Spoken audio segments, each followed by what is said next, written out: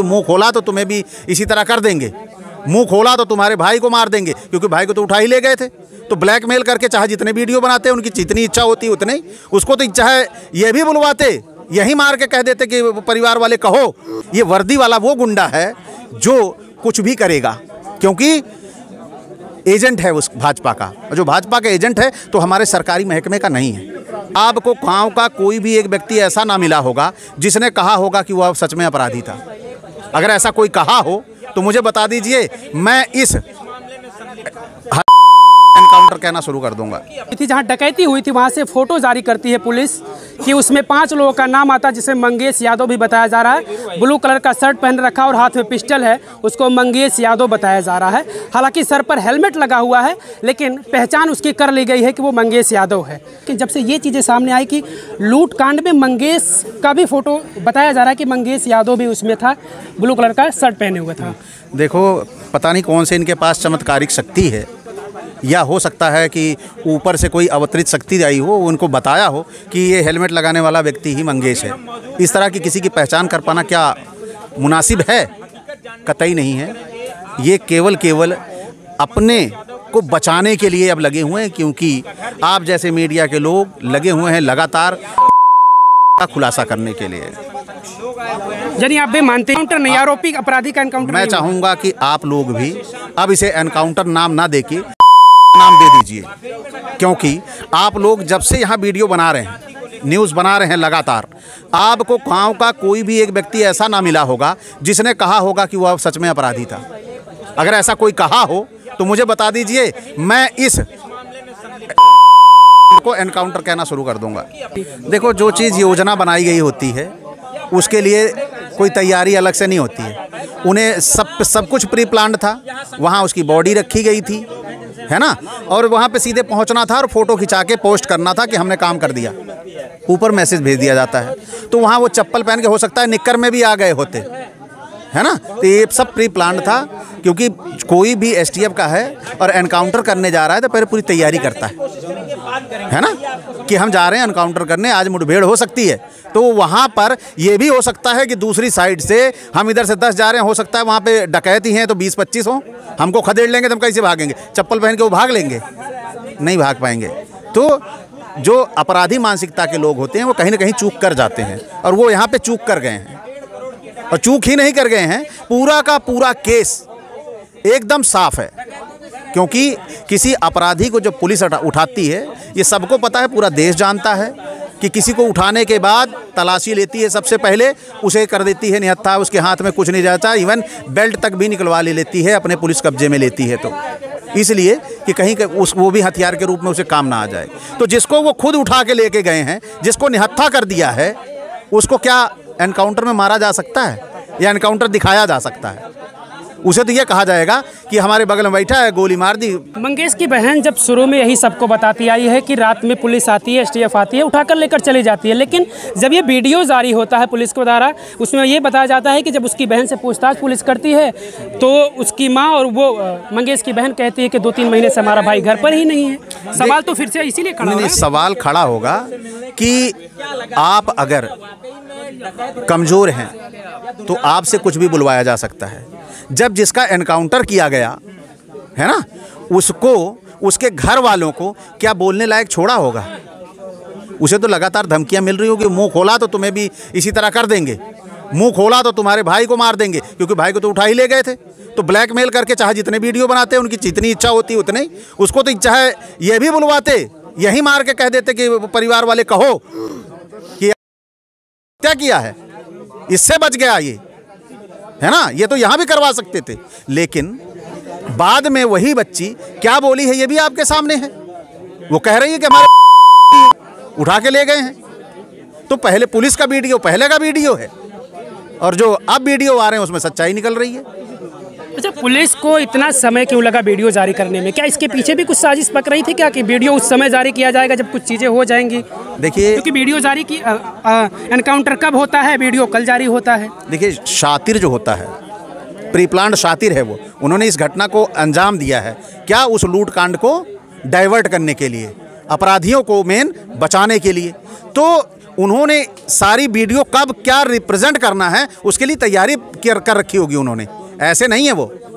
वहाँ पढ़े लिखे लोग हैं और पढ़े लिखे जब वाइट क्राइम कहते हैं, इसको श्वेत वसन अपराध कहते हैं हिंदी में। वाइट क्राइम जो करते हैं ना, वो योजनाबद्ध तरीके से करते हैं और ये योजनाबद्ध करके वाइट क्राइम करके बचने का प्रयास कर रहे हैं, लेकिन बचेंगे नहीं ये। अपराधियों के मारने के बाद तो वहाँ वाहवाही खूब मिली और शाही साहब के पत्नी को महिला आयोग का सदस्य भी बना दिया गया। यानी प्रदेश सरकार की नज़र में तो डीएसपी साहब ने बढ़िया काम किया, अपराधी का इनकाउंटर किया। देखिए, वो जो उनकी वाइफ हैं, वो पहले से ही भाजपा में थी। और जिसकी वाइफ भाजपा में हो, उसका पति कहाँ बचा रह गया? तो ये जिसको बोलते हैं वर्दी वाला गुंडा, है ना? ये वर्दी वाला वो गुंडा है जो कुछ भी करेगा, क्योंकि एजेंट है उस भाजपा का। जो भाजपा का एजेंट है तो हमारे सरकारी महकमे का नहीं है। वो काम करेगा, नेताओं के इशारे पे, उनके निशाने पे रहेगा। वो जिस समाज को चाहेगा, निशाना बना लेगा, जिसको चाहेगा, अपने आका को खुश करने के लिए बना लेगा। एनकाउंटर का आंकड़ा सामने आया जब से प्रदेश सरकार में मुख्यमंत्री योगी आदित्यनाथ जी हैं। सबसे ज़्यादा एनकाउंटर हुआ है तो वो मुसलमानों का हुआ, उसके बाद ब्राह्मण का हुआ, फिर यादव का और अन्य जातियों का इस तरीके से हुआ। ऐसे में हम प्रकाश राजभर कह रहे थे कि जब मुसलमानों का एनकाउंटर होता तब तो अखिलेश नहीं बोलते, या फिर इतना हो हल्ला तो नहीं होता है। यादव के होने के नाते आज अखिलेश को बड़ा दुख हो रहा है और फिर भीड़ जुटवा रहे हैं मंगेश यादव के घर, ये सियासत कर रहे हैं सिर्फ़। देखो ये आपने सुना ही होगा, योगी ने ही कहा था कि जो बटेगा वो कटेगा। जी बिल्कुल अभी हाल ही में कहा था। हाल ही में कहा था ना? तो जब हमारा समाज एकजुट है तो खड़े ही होंगे ना? जिसका समाज एकजुट नहीं है उसके लिए नहीं खड़े हो रहे। या फिर हो सकता है कहीं से जो दहशत फैला रखी है है ना? कि तुम्हारा भी अतीक अहमद जैसा हाल कर दिया जाएगा तो उसकी कौम कहाँ खड़ी होगी लड़ाई के लिए? खड़ी होगी क्या? पुलिस कस्टडी में जिन लोगों को मार दिया जा रहा है, वो कहाँ आवाज़ उठा सकते हैं? कोई ऐसी जगह? कोई प्लेटफार्म भारत में ऐसा है जहाँ आवाज़ उठा लें? तो सबसे पहले ये सोचना है कि स्थितियाँ क्या हैं? आवाज़ उठाने वाली, क्या इस घर के लोग आवाज़ उठा सकते थे? अगर ये यादव परिवार का ना होता तो क्या आवाज़ उठती इसकी?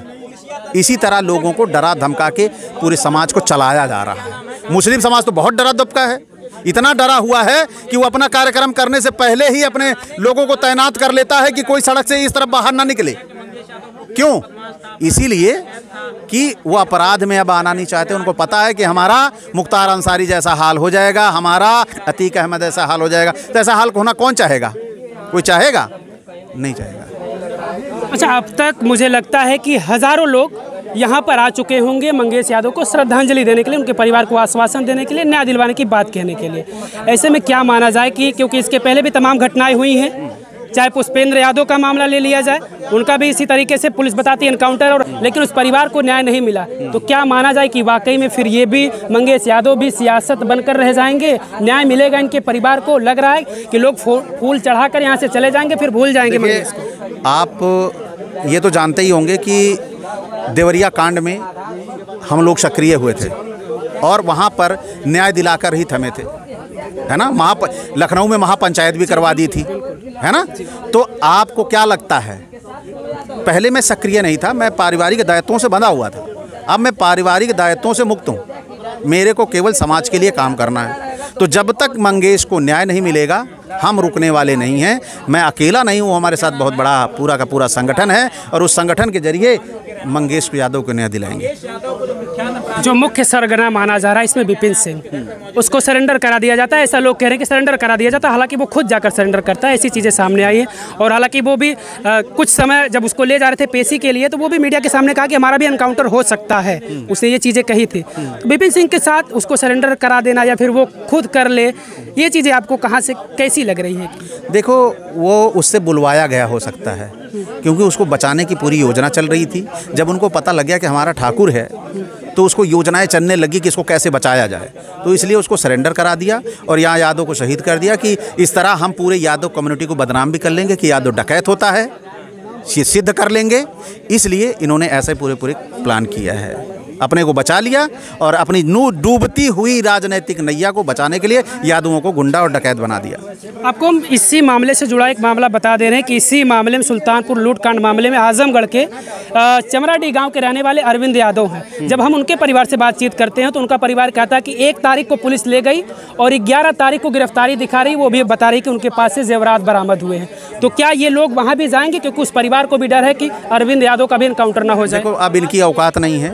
अब इनकी औकात नहीं है कि अरविंद यादव को ये छू लें। ये पाँच की घटना कर, करने के बाद से हत्या ये करने के बाद से उनको पता लग गया है कि अब अगर हम इससे एक इंच भी आगे बढ़े और एनकाउंटर किया तो हमारी ऐसी की तैसी हो जाएगी। अब उनकी बस की बात नहीं है। अब उनके सारे कुकर्म जनता की निगाहों में आ चुके हैं। जनता इनको बख्शने वाली नहीं है।